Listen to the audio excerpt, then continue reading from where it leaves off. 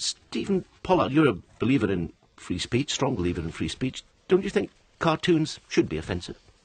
Oh yes, I mean I don't think I think you have to separate out the the difference between the right to publish something, whether there's a right to be offensive, and I, I strongly believe in that, and whether that means you always have to be offensive, and I don't think you do.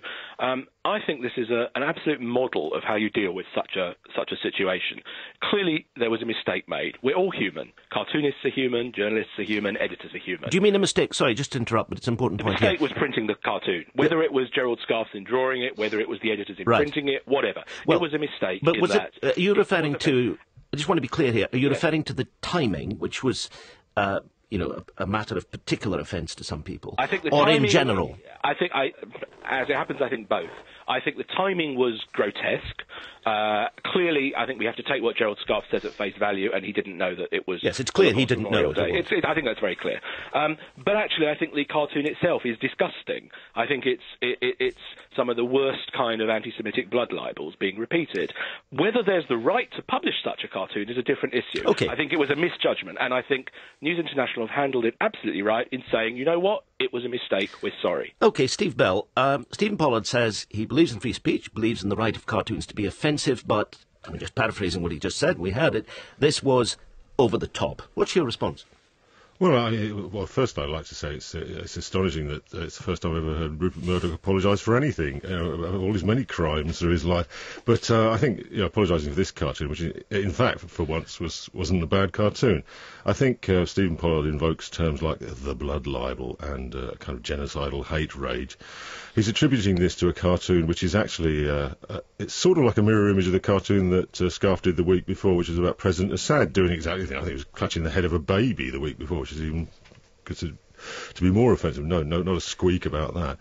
Um, the problem with uh, the state of Israel and the, if you like, uh, the Zionist lobby is that they never acknowledge the crime of ethnic cleansing upon which the state was founded, and that's that's a permanent problem. It's always going to be a difficult issue, let and it's always going to set people at odds like this. I mean, we get into a one-two, nose to nose, and start. Uh, Well, let me- hurling let me just but if that- you lo- use the term blood libel as loosely and as ridiculously as that, blood libel refers, I think, to a medieval belief that the Jews actually ate their own children or ate Christian children, which is not actually a current um, idea that's abroad. Okay, let me- No, you- nobody's actually saying. Okay, hang on, hang on. It- You've made a very cartoon was not well, about you've made the a series Jews, of it was strong about points. Me- hang on, you've made a specifically series of the Jews. let's- I'm- Steve, you've made a lo- interested, Mr. series of strong assertion. points here. Steve, I'm- Stephen Pollard, come in Yeah. at this. I'm, I'm interested in your assertion that nobody's talking about the blood libel.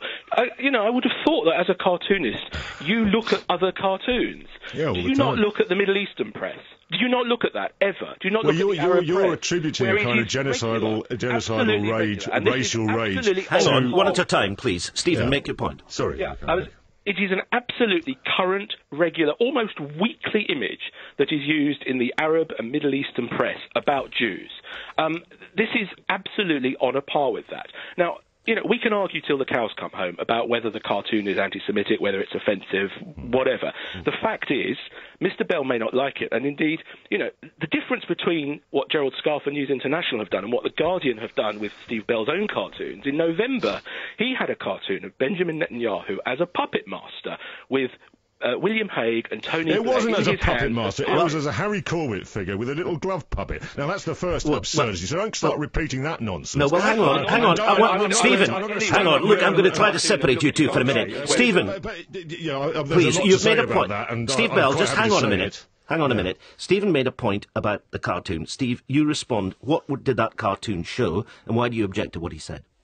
Sorry, what, what, The, the, the cartoon that was just referred to, the Puppet Master cartoon. Oh, Explain the- exactly well, what it showed. And It, it showed Netanyahu. It was a cartoon specifically about Netanyahu. It wasn't about the Jews or the Jewish people or the Jew as some kind of manipulating evil genius. It was instantly taken up by some sort of lunatic right-wing websites who ran it alongside uh, something they plucked out of the Stürmer, which bore no resemblance to it. It wasn't based on it, had no relationship to, to it at all. My cartoon had Netanyahu with a rather pathetic tiny little glove puppets, one of whom was William Hague and the other one was, was, was Tony Blair. But made the main image was of Netanyahu himself, surrounded Now, by why- these missile-like flags. why do you Now, think that that's unacceptable, he's Stephen up Pollard? because the Guardian, Well, the hang on, hang on, let imposed Stephen Pollard behalf, respond. Which I refute utterly. I- Right. I- This It- fool it- that the Guardian let, is the let's, leading editor. let Stephen Pollard res- would be nice to get one word in. Yep. Um, Sure.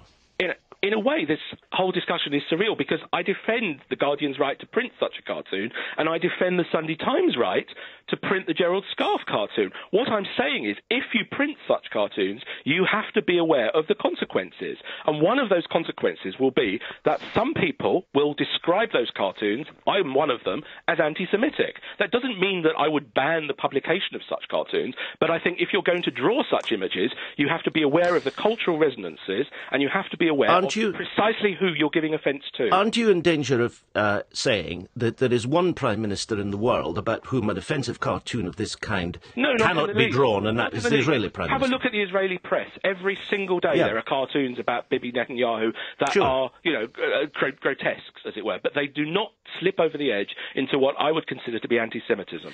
Do you ever censor yourself, sorry, Steve my- Bell, my in the question of taste? Broken. Hello What's there? happened? Have you lost us? I, I, I'm, it's my headphones are going in and out. I can, Well, uh, just a last word. I mean, uh, Stephen Pollard makes the point that you know there are offensive cartoons about uh, the Israeli Prime Minister appear in the Israeli press. This goes over the top because it touches on um, the whole question of blood, and this really does uh, go too far. Now, do you ever censor yourself when you're um, drawing a vile image of whoever it happens to be, David Cameron or Tony Blair or Ed Miliband or Benjamin Netanyahu or George W. Bush? Do you ever say that's gone too far and stop yourself? I, I, uh, that's what that's what drawing a cartoon involves. You have to think about what you do. You have to think very carefully about what you do. And I think um, the, the problem with this old argument is it's uh, extraneous notions like uh, blood libel and uh, uh, are dragged in, and um, sensitivities are are are talked up when they actually don't. Then the the, the, the, the, the very word anti, anti-Semitic it becomes devalued. They throw it around with such with such abandon, and Right. if there is real anti-Semitism, it's actually getting ignored. A very last word, Stephen Pollard. Well, I simply ask readers, listeners, to have a look at the cartoons and make their own mind up. You know, it's it's it's it's how the individual perceives it. And it, I defy anyone not to see this cartoon as being about Benjamin Netanyahu glorying in the blood of Palestinians. Stephen Pollard, editor of the Jewish Chronicle. Steve Bell from The Guardian. Thank you both.